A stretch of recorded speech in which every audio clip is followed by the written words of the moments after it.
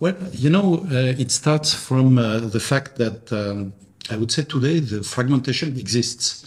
We have uh, for IoT roughly 10% of the objects that are connected, uh, which are in fact connected to um, a secure public network. So we have, um, due to the uh, introduction of 5G technologies, we, we have uh, an incredible opportunity because we will uh, we have uh, in front of us we have all the, new objects and we have all these objects that today are not connected to a public network that are, today uh, potentially connected. Um, we also have uh, a beautiful opportunity. Uh, I speak for myself because I, think we can leverage uh, 30 years of uh, experience in the in that um, in that industry, where we we can bring um, true privacy protected solutions. So uh, that's something we have been uh, very keen uh, in implementing in all these years. And I think we can we can do that. So I believe that we have, of course, the challenges. Challenges are the, at the same level than the opportunities. They are very important. Uh, but I believe that um, more than ever today, uh, the, the, TCA work is important, uh, and particularly to bring an ecosystem which is secure, an ecosystem which is not biased, an ecosystem where, which is really exploiting the, the, the 30 years of experience we have had.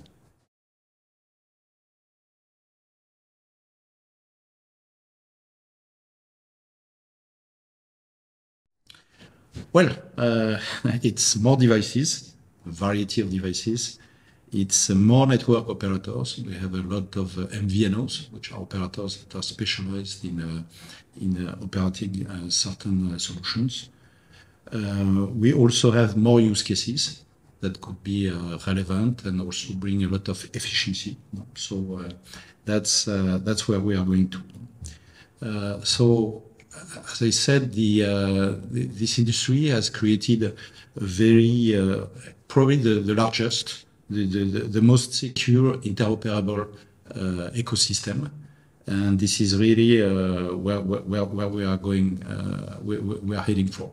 So I believe that uh, this industry will go more than, more than ever in a combination of secure IPs. Secure IP could be hardware, software, experience, certification path, um, and this is today unchallenged.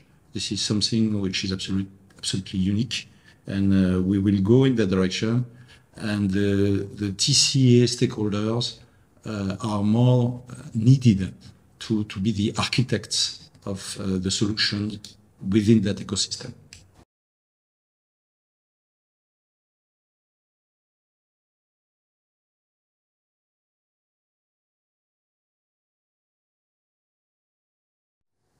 Well, yeah, of course, we have the uh, the benefits of participating uh, in that uh, association.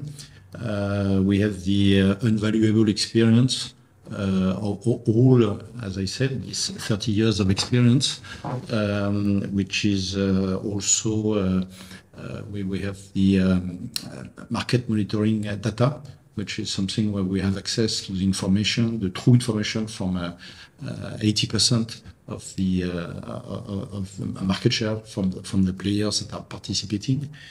Um, but this is also uh, the possibility for the, the participants to uh, to work uh, in working groups, trying to uh, to, to fill some gaps for that we are that have been created in the uh, of course in the, in the, in the growth of the opportunities that we are talking uh, about.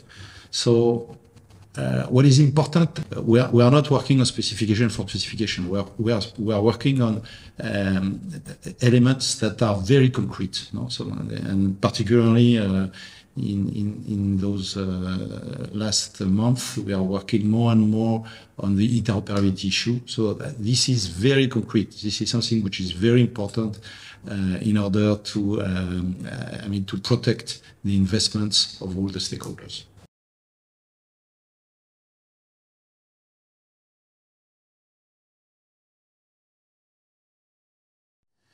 Um, well, to, today we are we're happy because we have uh, there are a lot of eSIMs in the market, so that's uh, that's something which is uh, a good a good indication. But it, it's only uh, from uh, a limited number of players. No? So we have the flagship telephones from different the, the, the, top players, and, and of course some very interesting machine-to-machine deployments. But um, in fact, we, we, we, we, we are about with the 5G and what I explained about the, all this variety to, to have um, a lot of players that are uh, in fact having more complex use cases. And of course, these more complex use cases will, will just reveal some uh, interoperability issues. So we have to work a lot in order to, uh, to try to, to, to, to anticipate those issues, make a lot of interoperability testing, um, and this is uh, this is important because um, we don't want to have uh, to penalize the early adopters, you know, the one that, that will adopt the technology for uh, uh, uh, for, for for their solutions. And we want we want them and all their uh, initiatives to be protected, and that's why we are very keen on the interoperability.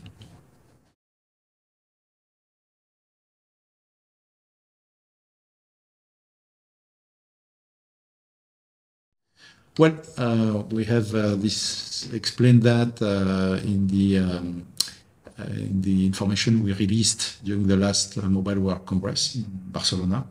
So um, the operators will have um, access to a pool of uh, expert knowledge, skilled resources, testing tools, and the largest library of eSIM-enabled devices of the industry. And this will help them to, to test their uh, their profiles and uh, of course uh, I mean discover if there, is, there are some issues discover them on time and again for, for the for the benefit of all the participants